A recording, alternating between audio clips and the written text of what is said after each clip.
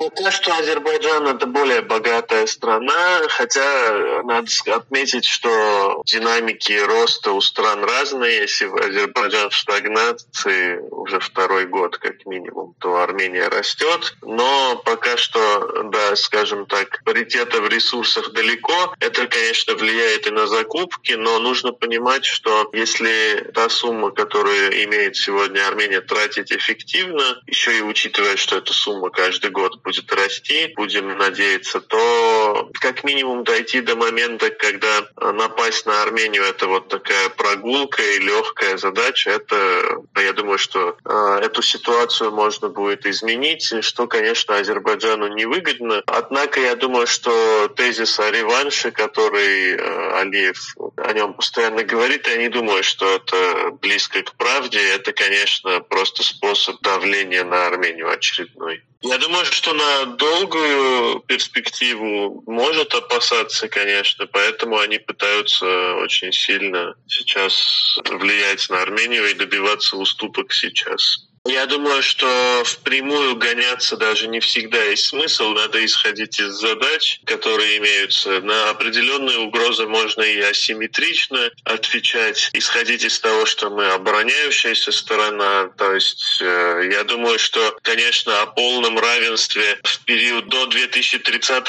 года говорить пока не стоит. А что будет после, тоже пока в таком меняющемся мире сложно прогнозировать. Но в целом если армянская экономика будет расти, а азербайджанская нет, то когда-нибудь можно дойти тот день, когда настать тот день, когда у Армении будут сравнимые ресурсы. При этом политически Армении сегодня уже есть достаточно широкий набор партнеров, с кем можно проводить и подготовку войск, и закупки оружия.